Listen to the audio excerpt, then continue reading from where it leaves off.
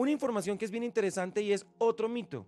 Mm. Las personas muchas veces creen que porque no lo vamos a ver en Colombia, entonces no nos influyen. Sí, astrológicamente, así nosotros no veamos el eclipse, nos influye y va a influir a cuatro signos que son fundamentales, que tienen que tener mucho cuidado hoy, el día del eclipse, y durante los próximos cuatro años, ya le voy a decir por qué cuatro años. Los cuatro signos más afectados de este eclipse son ¿Cuáles son? Aries, Cáncer, Sí. Libra y Capricornio. ¿Por Pero qué? ¿cómo así afectados? ¿Por ¿Cómo qué así ellos y Te el voy a afectados? resto decir no? por qué. O sea, se va a enfermar uno, no se puede peluquear uno, no se Puede puede ser. sacar un diente. Sí, voy para allá. ¿Por qué? Porque es que el eclipse se va a dar en Aries y Aries pertenece a una cruz en donde esa cruz pertenece a tres, a cuatro signos y esos cuatro signos son cáncer- eh, Aries, Cáncer, Libre y Capricornio. Ahora, en la astrología antigua se decía que un minuto equivalía a un año cuando ocurría un eclipse. Este eclipse va a durar cuatro minutos y 29 segundos, dando a entender que el eclipse para estos cuatro signos les va a afectar durante los próximos cuatro años por delante.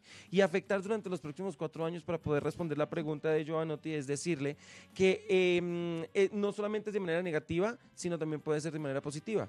¿Qué es un eclipse? Entonces ahora sí definamos para saber si va a ser bueno o no. Pregunté, pre- clase, preguntemos. ¿Qué es un eclipse? Los eclipses sencillamente traducen ocultamiento o desaparición. O sea, es la desaparición de la luz, pero no O es sea, lo hoy hay eclipse de desayuno aquí en la... en la Sí, sin embargo, no es lo mismo un eclipse de sol que de luna. Este va a ser un eclipse de sol y cuando se eclipsa sol es porque tenemos que trabajar temas que tienen que ver con el temperamento, con la imagen, con Sí. eh, el carácter, con el la, la impulsividad que tenemos, Mm. con cómo, cómo no- estamos conectando con las demás personas. Este es un eclipse que, por, efecto, por ejemplo, a los escorpión les afecta en relaciones de pareja. Por eso es que tienen que volver a revivir la llama del amor. Y si usted es escorpio y no tiene ninguna relación de pareja o ninguna, ningún noviazgo, es, eh, digamos, como seis meses en donde es mejor que haga votos de castidad, quédese quieto ¿Qué? y no comience ningún tipo de relación de, de Ay, no, pareja. ya no quiero ser escorpión. Cuente. En la antigüedad, las, las- los ciclos lunares eran fundamentales para tomar decisiones, así como eh, en la agricultura se utilizaban estos ciclos lunares para poder sembrar, cosechar, castrar animales y todo lo demás. Sí. Pues asimismo se utiliza para poder sembrar una relación de pareja o Ok. sembrar un nuevo proyecto en negocios de inversión o lo que sea. Este eclipse de sol se da precisamente porque hay luna nueva. O sea, cuando hay luna nueva, en algunas oportunidades se puede producir el eclipse de sol. Y las lunas nuevas nos llevan precisamente a inicios.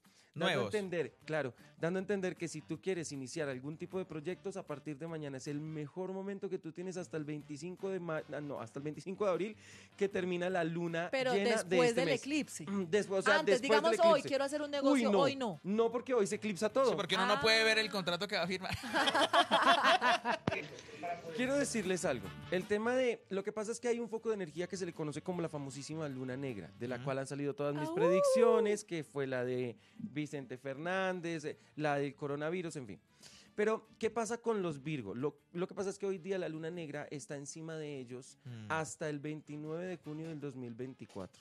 O sea, tienen, como digo yo, la menopausia astral, la rechera cósmica. ¿Qué? ¿Cómo? Ay, O sea, hambre. están- Una rechera cósmica para tirar hasta el infinito y más Es- allá. o sea, es que están con unos altibajos emocionales todos los Virgo, en donde sienten que las cosas no les están saliendo como ellos quieren, pero no se preocupen, hasta después del 29 de junio del 2024 las cosas comienzan a mejorar, así que todavía hace falta por ahí un mesecito más o menos largo para que sientas como tu vida comienza a coger luz verde. Me encanta esa palabra, arrechera cósmica.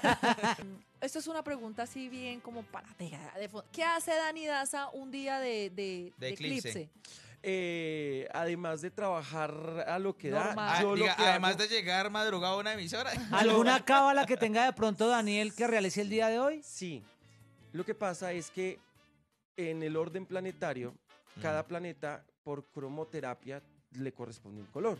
Entonces, el color de Marte, que es el color del dios de la guerra, es el rojo. Entonces, si uno quiere tener protección en su vida, debería de, col- de- de utilizar colores rojos. Eh, Dani viene de amarillo hoy. Ya te voy a ¿Por decir qué? por qué. Mercurio. Eh, para salir de problemas es el color morado y se utiliza los Ah, días ya, sábados, por ejemplo. O Ah, para no, no causar problemas fácilmente. Yo que utilizo el color negro para verme más delgado. Uy, ese es un tema No le está sirviendo. Oiga, pero mire, le voy a decir algo.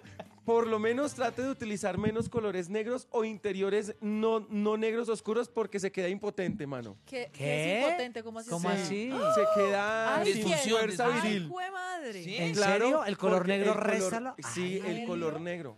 Ah, ast- astrológicamente y energéticamente el color negro es un color muy Pero difícil. O sea, era el color negro. Yo pensé que era el estrés. No, es el color negro. Pero miren, por ejemplo, el sol, el color del sol precisamente es el, amari- es el amarillo. ¿Mm? Por eso hoy es fundamental tener alguna prenda de color amarillo o interiores de color amarillo. O sea, yo pensé que pues. eso solo era en Año Nuevo. El 31 que la No. gente tiene. Oiga, si el negro baja, ¿con qué número sube? Pues, ¿con qué color sube? El negro Eh, baja. con el rojo- color negro, el con color el- negro, Con el el color rojo negro. y con el rosado. Si usted Ah, quiere alzar y- su y- y fuerza. que el negro baja.